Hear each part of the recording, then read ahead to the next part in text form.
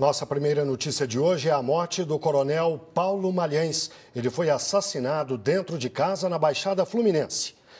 Há um mês, o coronel reformado do Exército revelou em depoimento à Comissão Nacional da Verdade detalhes sobre o funcionamento da chamada Casa da Morte, um centro de tortura que os militares mantinham em Petrópolis, região serrana do Rio, durante a ditadura. A polícia não descarta queima de arquivo.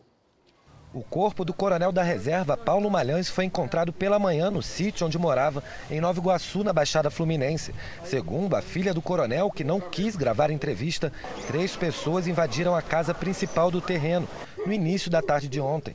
Nenhum tiro foi disparado e Malhães teria sido morto por sufocamento.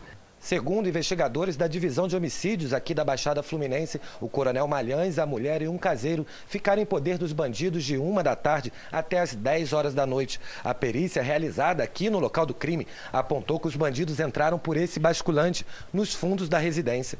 Os assassinos o, é, ficaram trancafiados com ele dentro de um cômodo da, da casa por nove horas. É absolutamente plausível indagar se não estava, se não estava interrogando o coronel Malhães. Né?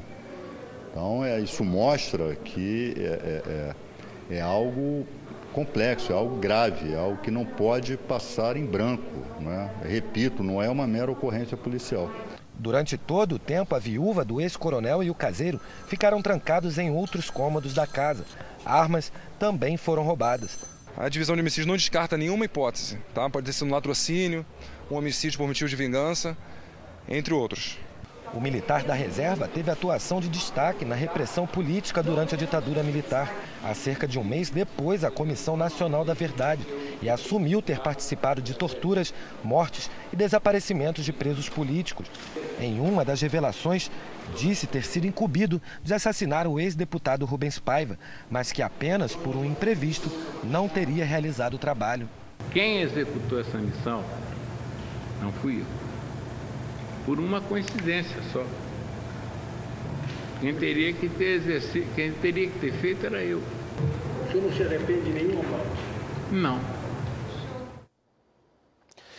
A Comissão Nacional da Verdade quer que a Polícia Federal acompanhe as investigações sobre a morte do coronel.